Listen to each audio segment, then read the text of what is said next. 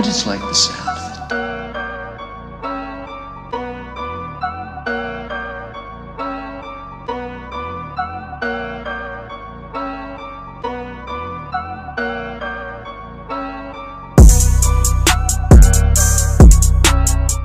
So hey everyone, previously we have explored the idea of 4 dimension by using 2D analogy. In Epstein book, he said we all are moving at the speed of light in time, but when we speed up in space by approaching speed of light, our time component decreases, which leads time dilation and length contraction. So that we're living in 3D world is just a shadow of 4D, means a single slice of space-time continuum. Hmm. But today we are going deeper, not only try to visualize the 4D, but we will also take a thing step further. Could we go beyond the fourth dimension? What would happen if we introduce a variation of space-time itself? Could that be the birth of fifth dimension? Wow, oh my god, we are talking about fifth dimension. Imagine a world where you can only move forward and backward, no left or right. It's only a straight line with no one set of width, right? A creature living here would be completely unaware of anything outside this line. Now what happens when we introduce variation in this line? We start staking lines next to each other. This forms a plane or 2D space with both length and width. This is where squares, circles and all the 2D shapes exist. To a 2D beings their world is complete, but we as a 3D beings can see their entire existence from a higher perspective. A 2D creature would never comprehend a true cube, only its 2D shadow slice. Now if we take a 2D plane and stack multiple variations of it, we get 3D. That's our reality. Where objects have length, width and height.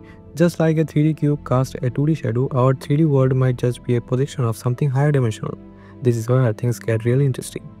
Because what if our entire 3D space is just a slice of a 4D world? Okay, now we was in a flip book. Okay, what is the connection established between a flip book and space-time continuum? Wait, here each page is a still 3D world, like a frozen moment in time. Whoa, whoa, whoa. Then, as you flip the pages, you see motion, you see events unfolding. Now think of time as the force that flips these pages. Wow, Every moment we experience is just a single slice of larger space-time 4D reality. That means we are experiencing a single page as a present moment in a whole flipbook events.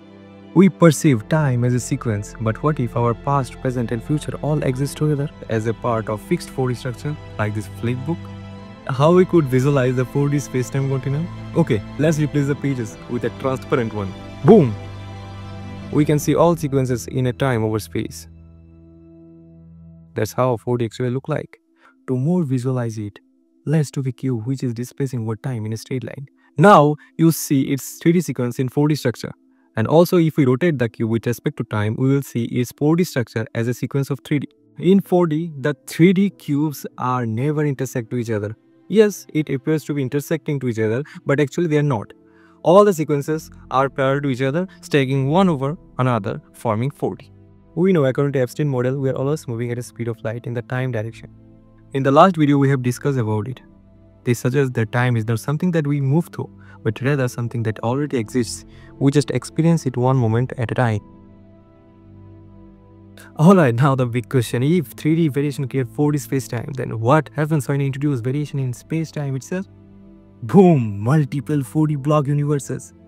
Instead of a single fixed 4D reality, now we have an entire set of different space-time continuums. Wow! This is what we call the fifth dimension a reality where every possible versions of past, present and future exist in parallel. Just like in another space-time continuum, you married your crush, but in this space-time continuum, you are still single. So what does that mean? It means that at this very moment, there could be countless versions of you making different choices leading to different futures. Wow. It doesn't limit within only you. In fact, space-time continuum means infinite universes parallel to each other. In some interpretation of physics, like the many world interpretation of quantum mechanics, this idea is not just science fiction.